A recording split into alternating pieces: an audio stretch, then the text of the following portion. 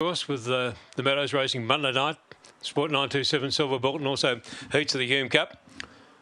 So heats of the Derby and uh, Oaks here tomorrow night. Getting set now, moving in.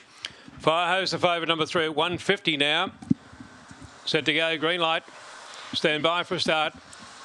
Bad to go set they're racing and they're going out very fast. There would have been Firehose and the favourite landed in front, joined by Fernando Film on the outside, but Firehose held it out. They were followed further back by Ed's Bale and then came Sydney Show. Over on the inside there came Gamash, well back followed by Lassard and Nadia Bale at the tail. They come to the turn now and down on the inside, Firehose the leader. Fernando Film tries hard on the outside. They're going together. It's a good go here. Fernando Film and also Firehose flashing through on the inside though. Lassard, I reckon, might have got up to roll them all. Firehose is there, so too is Fernando Film. They were followed behind them then by Gamash out near the tail of the field there. Nadia Bell and also Sydney Show. And the time for the race is around 26.05.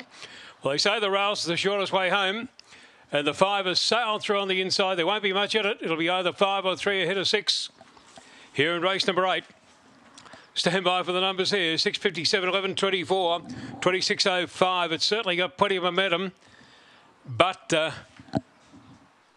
it's uh, it's very very close indeed. 657, 11, 24, and the time is 26.05. Yeah, it can be suicide going for the inside here.